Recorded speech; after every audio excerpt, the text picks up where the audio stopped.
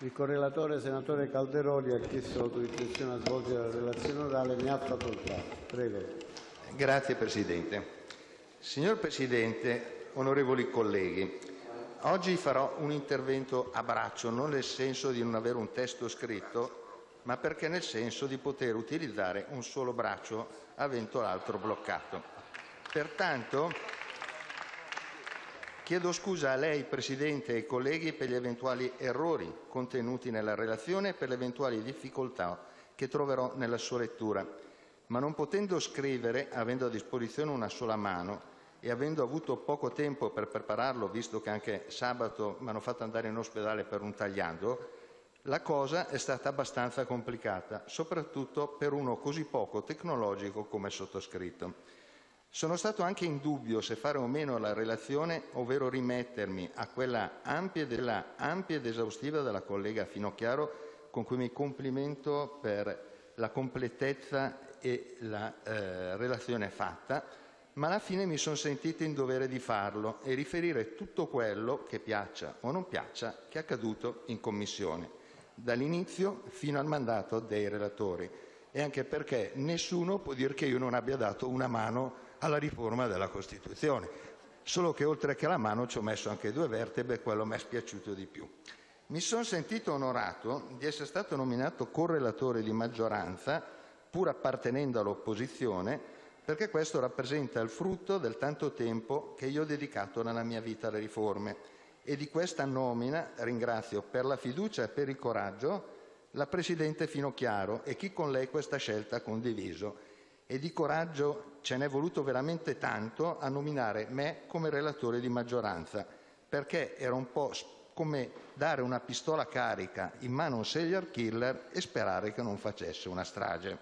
Ma con orgoglio oggi voglio ricordare e ribadire che la prima e unica riforma complessiva di tutta la seconda parte della Costituzione, votata per quattro volte dal Parlamento nel 2005, portava la mia riforma come Ministro delle riforme.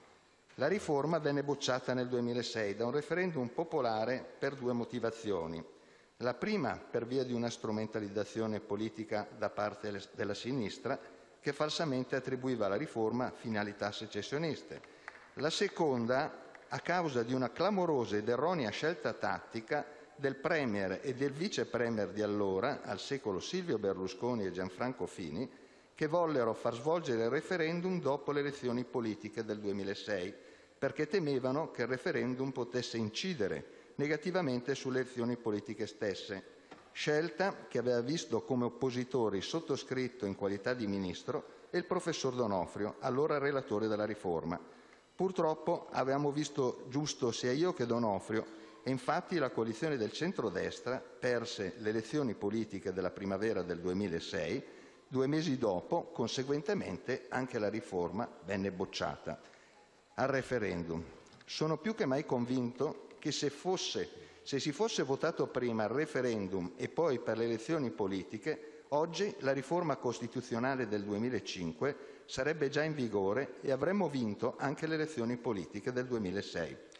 Oggi siamo qui a parlare di riduzione del numero dei parlamentari, di fine del bicameralismo paritario, di revisione del titolo quinto e di tante altre cose ancora, ma è bene ribadire forte che tutti questi erano contenuti nella riforma di allora, anche se quella era scritta molto meglio, sia in termini di forma che di contenuti. Ma torniamo a noi. La riforma che oggi è al nostro esame, per fortuna nostra e del Paese, è un testo completamente diverso rispetto a quello proposto inizialmente dal Governo, che conteneva una serie di peccati originali.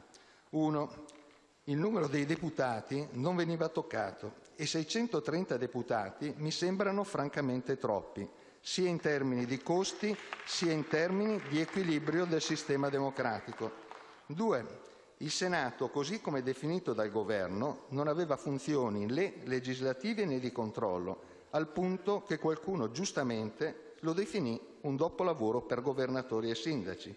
Si parlava genericamente di una funzione di raccordo fra Stato e autonomie territoriali, ma era evidente a tutti che non avrebbe raccordato alcunché.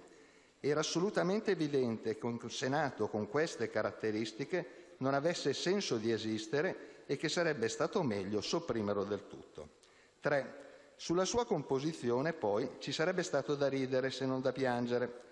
Per buona parte era costituito da membri di diritto con governatori regionali e sindaci delle, città capoluogo di regione o di provincia autonoma e quindi stiamo parlando di 42 membri di diritto, a cui incomprensibilmente si aggiungevano 21 senatori di nomina del Presidente della Repubblica.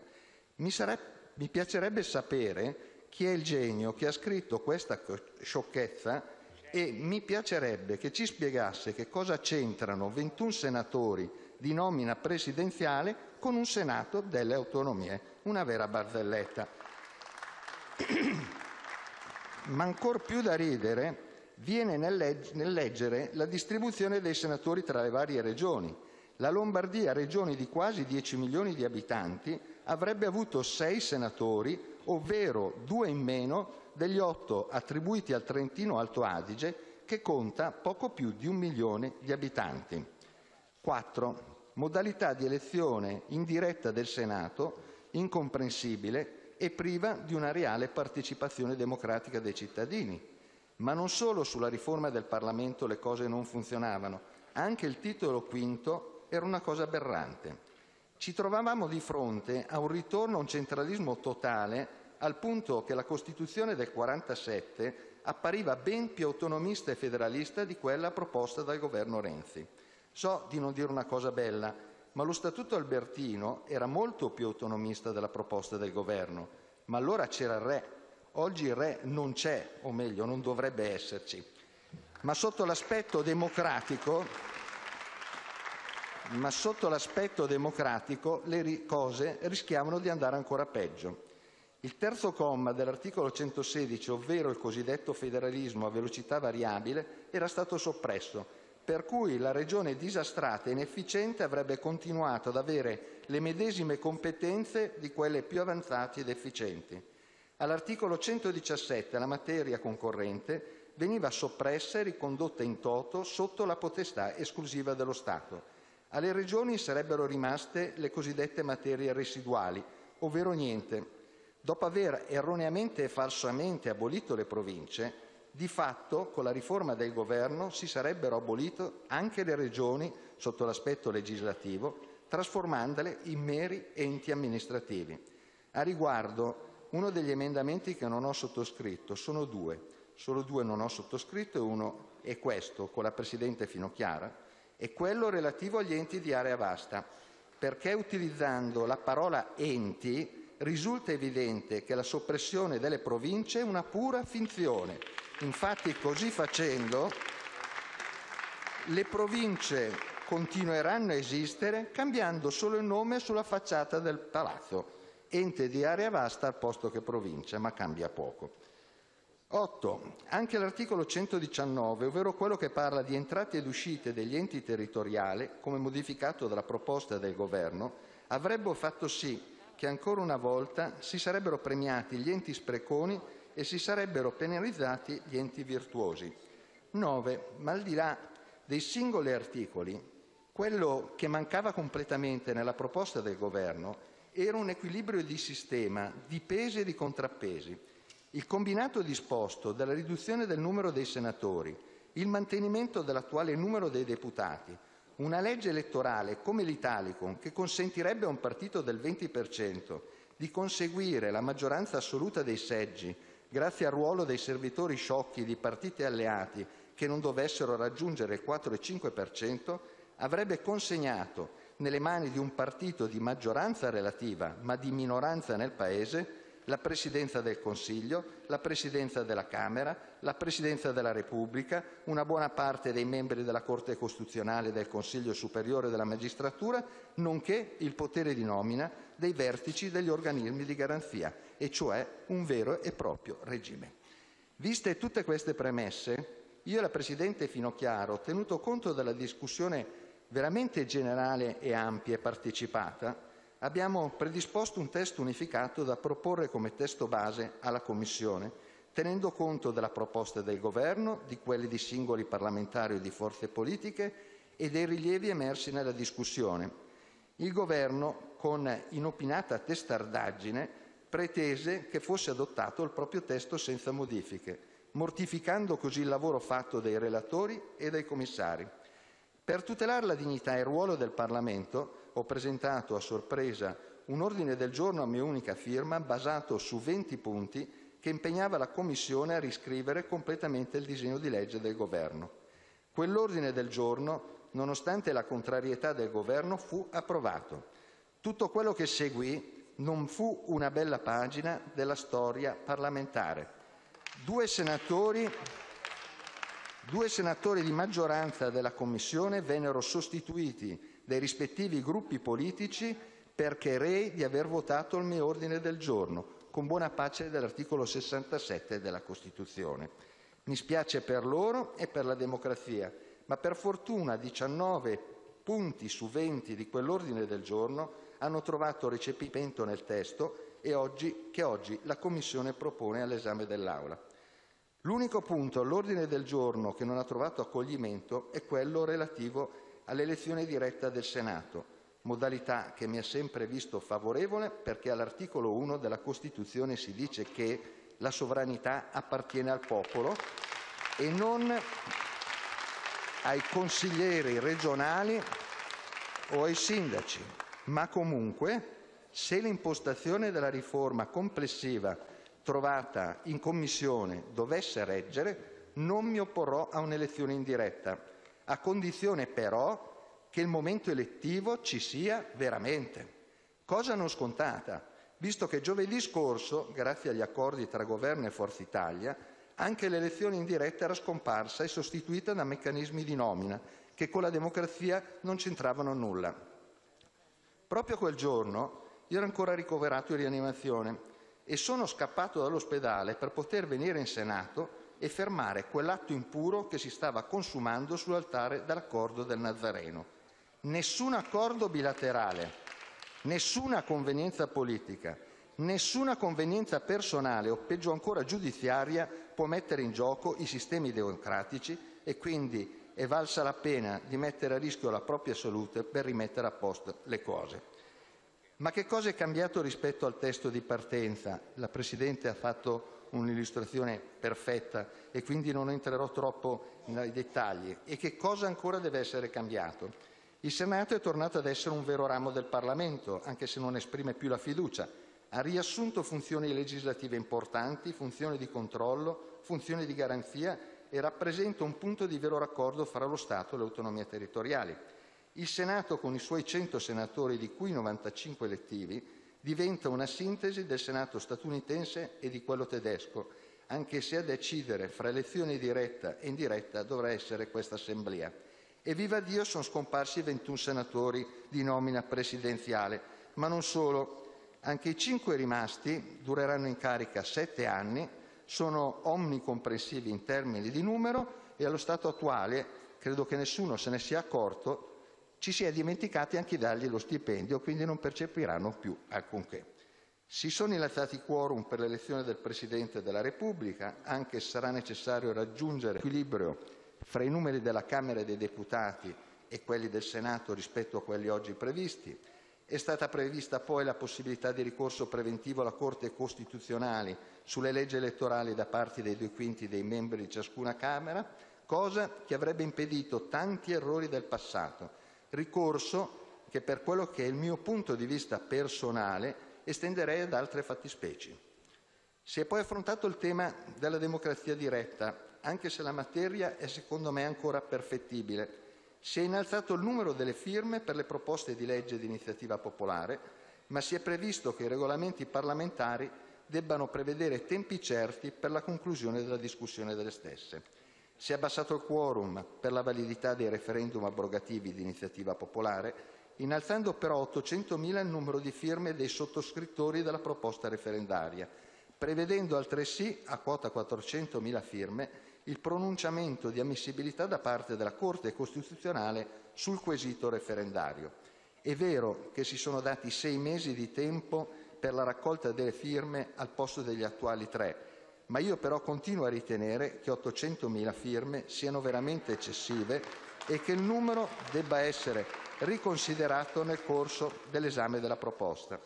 Ma passiamo al titolo V. È tornato a rivivere con la reintroduzione del terzo comma dell'articolo 116 il cosiddetto federalismo a velocità variabile, ovvero sia quello che consente alle regioni che hanno già dimostrato di saper governare bene e virtuosamente di poter acquisire ulteriori funzioni legislative a condizione però, come già ricordato, che si trovino in equilibrio di bilancio. L'articolo 117, ovvero quello che definisce le potestà legislative di Stato e Regioni, è stato completamente riscritto, definendo una volta per tutte quali sono le competenze esclusive dello Stato e quelle che sono delle Regioni, stabilendo una volta per tutte il famoso ed auspicato da tutto, tutti chi fa che cosa. Una cosa non mi piace ancora nell'articolo 117, la cosiddetta clausola di sopremazia dello Stato che, così come prevista, consente la possibilità da parte dello Stato di cancellare la potestà legislativa delle regioni nelle loro competenze anche nelle regioni dove non ve ne sia la necessità. La clausola, così come prevista oggi nel testo, mi sembra ricordare il famoso detto che si leggeva dietro il bancone di talune attività commerciali per colpa di qualcuno non si fa più credito a nessuno e sarebbe paradossale che, per esempio, se una o due regioni non fossero in grado di garantire i livelli essenziali di assistenza in campo sanitario o sociale, si volesse intervenire su tutte le regioni e non su quelle due alla faccia del federalismo. Questo punto dovrà essere sistemato. Un ottimo lavoro si è fatto sull'articolo 119, ovvero l'articolo che parla di entrate e uscite degli enti territoriali. Per la prima volta si è inserito in Costituzione il concetto di indicatore di riferimento di costi e di fabbisogni che garantiscano le migliori pratiche di efficienza, ovvero i cosiddetti costi standard. Mai più nessun governo, come fece quello del mai rimpianto Monti, potrà cancellare o sospendere l'applicazione del federalismo fiscale su questo tema mi sento di dare un consiglio all'amico Renzi. Nonostante il Governo continui a smentire manovre economiche, tutti, ma proprio tutti, anche i maggiori esperti di economia, sanno che a fronte degli attuali conti pubblici sarà necessaria una manovra da 20 a 27 miliardi. Voi mi direte che non è vero e il buon Renzi, che certamente è molto furbo, la manovra non la farà ma comunque dovrà fare la legge di stabilità e i nodi verranno al pettine. I mancati tagli del governo Letta sono stimati in 4 o 5 miliardi, le spending review di Bondi e Cotarelli che si sono perse per strada, le pese, spese emergenziali che ogni anno si devono fare e devono fare tutti e si quantificano in 5-6 miliardi, la parziale scopertura degli 80 euro per il 2014, la totale scopertura degli 80 euro del 2015 fanno già, facendo i conti della serva, ben più di 20 miliardi. Per evitare questa manovra, Renzi dovrà diventare il sostenitore più accanito dei costi standard del federalismo fiscale, perché solo con questo strumento si consentirà di recuperare quelle decine di miliardi non andandoli a prendere dalle tasche dei cittadini o dalle imprese, ma attraverso un taglio mirato degli sprechi e delle inefficienze del sistema Paese. Non voglio però più perdermi in dettagli che meglio potranno essere approfonditi nel corso dell'esame degli articoli e dei relativi emendamenti. Ora voglio fare alcune riflessioni rispetto a quello che ancora va fatto rispetto alla mia personale opinione. Uno, per poter ristabilire un vero ed equilibrato sistema di pesi e contrappesi è necessario riconsiderare il numero dei deputati non deve essere visto da nessuno come azione di rivalsa nei confronti dell'altro ramo del Parlamento, ma oggettivamente 630 deputati sono veramente troppi, non solo in termini di costi, ma soprattutto in termini di bilanciamento. Un Parlamento in seduta comune che dovesse prevedere un Senato rappresentato da 100 membri contro 630 della Camera si trasformerebbe in un Parlamento bulgaro. Una proposta che ragionevolmente mi sentirei di fare è quella di una riduzione del numero dei deputati ad almeno 500, non solo perché quello era il numero previsto nella mia riforma del 2005, ma perché questo numero rappresenta il rapporto tra cittadini eletti che si applica in Francia e nelle democrazie occidentali a noi più simili. Due, se questa Assemblea vorrà aprire il dibattito sull'articolo 68 ovvero, ovvero sull'immunità parlamentare, questa dovrà riguardare sia la Camera dei Deputati sia il Senato della Repubblica. Io sono anche disponibile all'abolizione totale, a condizione che la cosa la si faccia per tutti e due i rami del Parlamento. In alternativa, io continuo ad essere convinto che l'organo che deve occuparsene debba essere una parte terza e la massima espressione delle garanzie, ovvero la Corte Costituzionale. 3. In campo di procedimento legislativo, ovvero delle competenze del Senato, mi sembra francamente assurdo e curioso che il Senato non si possa occupare delle grandi questioni etiche che riguardano la scienza e la morale. Altrettanto inopinato mi appare che il Senato non possa deliberare sul coordinamento della finanza pubblica. Quindi, se quest'Aula dovesse decidere di prevederlo, sono disponibile anche a ridiscutere le competenze del Senato sull'articolo 81, ovvero sia sui bilanci. Cerchiamo con un po' di buona volontà di trovare un sano e giusto equilibrio. 4. Sul 117 credo che sia ancora necessaria qualche limatura, ma senza stravolgimenti, perché se qualcuno avesse la tentazione di riportare tutto in capo allo Stato, sappia già che la riforma si fermerebbe e tutto andrebbe a carte e 48. Io non voglio ovviamente minacciare nessuno, ma non voglio neanche essere preso in giro da nessuno. Se i patti vengono rispettati, la riforma prende il volo, diversamente la riforma si schianta. 5. Volutamente in accordo con la correlatrice, non abbiamo voluto toccare in Commissione l'articolo 138, ovvero i referendum in materia costituzionale, proprio per poterne discutere in Aula, ma entrambi siamo convinti che i referendum relativi alle riforme costituzionali debbano potersi svolgere indipendentemente dalla maggioranza con cui il Parlamento ha approvato la riforma e se quest'Aula sarà d'accordo procederemo in tal senso. Sull'elezione diretta o indiretta del Senato mi sono già espresso e la decisione spetterà a questa Assemblea, anche se nella legge elettorale a regime dovremmo ricordarci della tutela delle minoranze linguistiche che oggi è assente nel testo al nostro esame. Mi sento però di manifestare grande perplessità rispetto alla norma transitoria prevista per la prima elezione del Senato della Repubblica. Così come oggi configurata, prefigura una grave lesione dell'articolo 51 della Costituzione che recita tutti i cittadini dell'uno o dell'altro sesso possono accedere agli uffici pubblici e alle cariche elettive, in condizioni di eguaglianza secondo i requisiti stabiliti dalla legge. Cercherò di spiegarmi meglio.